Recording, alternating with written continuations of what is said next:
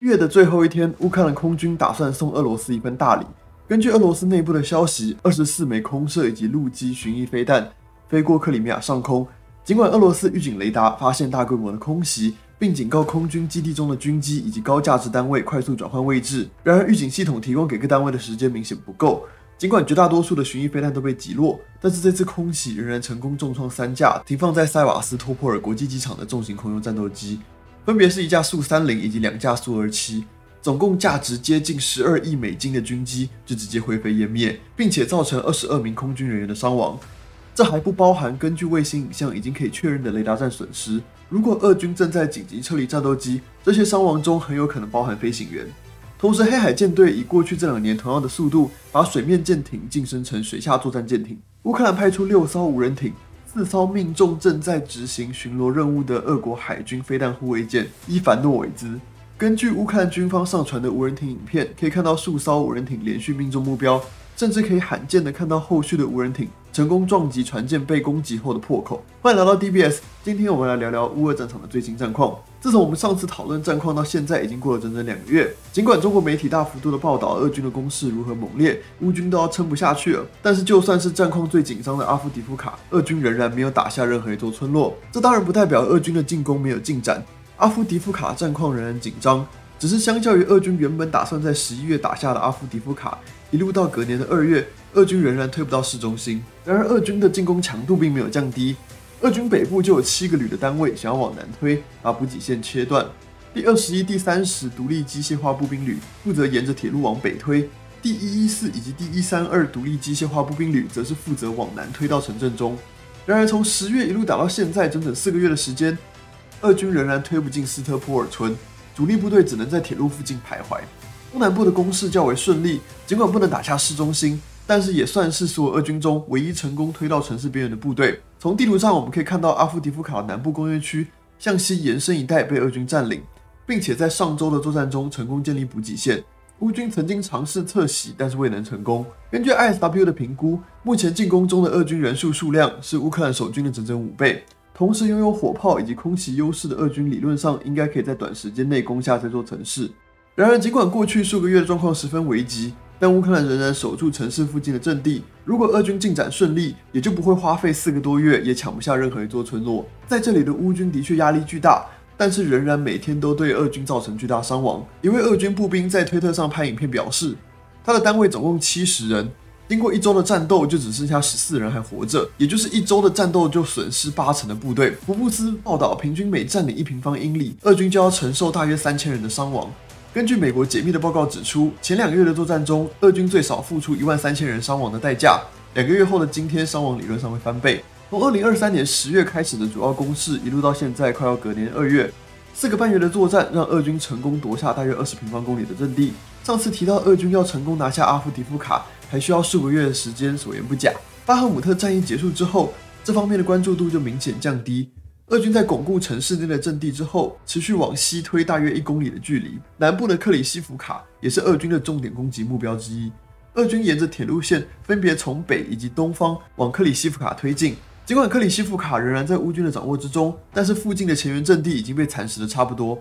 然而好消息是，俄军并不是唯一发起攻击的部队。相对被动的乌军部队整装待发的往东推进，成功的在东方推出一个大约一公里深、一公里宽的突出部。南部赫尔松作战持续进行，在乌克兰抢下克林基村的部分阵地之后，持续坚持不退回涅伯河北岸。从十月中的作战以来，在战场上回传的影音证据记录，几乎没有装甲单位支援的乌军成功击毁十三辆主战车、三十八辆步兵战车、九辆卡车以及三辆火箭弹车。相较于完全没有损失任何装甲单位的乌军来说，这个交换比可以说是逆天的存在。直到今年二月初。俄军仍然没有能力把乌军推回河岸北方。除了开头提到的空袭成功打下三架重型空优战斗机之外，乌克兰的防空部队也没有闲着。十二月到一月陆续击落数架俄国战斗机。结合乌俄双方的消息，一月十五号，俄国空军成功完成另一个世界第一，也就是世界历史上首架被击落的空中预警机。同时，另一架正在执勤的 IL-22M 空中管制机同样也被击伤，迫降在俄国境内的民用机场。预警机尽管没有装备先进的空对空飞弹，也不会携带远程空对地滑翔炸弹，但是在现代战场上的重要程度可以说是不言而喻。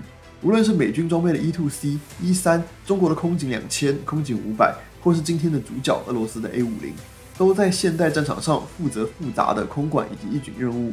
相较于地面雷达站，会因为地形以及地球曲率的影响，导致雷达的探测距离有限。预警机因为可以飞到高空进行侦察，所以探测距离时常可以达到地面雷达的数十倍。举例来说，美军装备的 E2C 可以同时追踪两千个空中目标，并且同时导引友军与四十个空中目标接战，而接战距离也达到惊人的五百五十公里。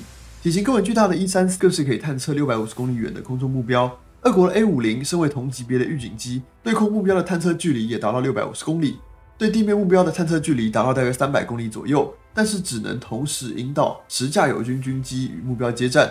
击落预警机不只代表俄军一架单点三亿美金的预警机喷掉，同时代表俄国空军将会更少使用预警机进行电子作战或是空中预警。这对于俄军的制空权掌控会有深远的影响。配上过去几周乌军以巡弋飞弹陆续打击克里米亚的防空雷达。如果俄军不愿意继续砸钱搞新的防空单位到前线填补空缺，那未来无论是无人机、巡弋飞弹或是打击效率都会大幅度提高。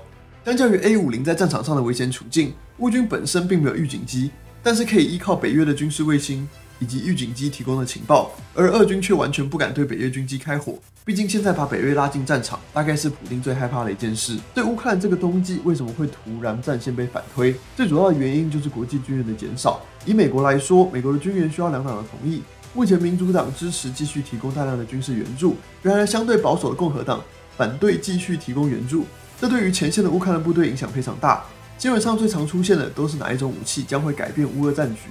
像是艾布兰 F 十六 Attackams，然而对乌军最重要的却是支持每一天作战的无人机一五毫米炮弹。只要北约停止对乌克兰的军援，乌军将很难维持战线。再加上中国、伊朗以及北韩开始持续提供俄军装备和炮弹，后勤上的差距将会越来越大。只要后勤跟不上，战线崩塌只是时间问题。目前乌克兰的希望将会寄托在欧盟以及美国重启的炮弹生产线，以及各国军火商帮助乌克兰建立的生产线。好消息是，欧盟终于通过提供给乌克兰五百亿欧元的军事援助，这将会缓解乌克兰缺乏炮弹和弹药的问题。从开战到二零二三年年底，美国估计乌克兰大约有二十万人的伤亡，而俄军的损失大约是三十一万人左右。尽管交换比优势一直都在，但是两个国家在体量上的差异达到四到五倍。就算交换比优势持续下去，长期打下来也对乌克兰不利。这让乌克兰军方高层需要想出更有效的战术，来对俄军造成更大的伤亡。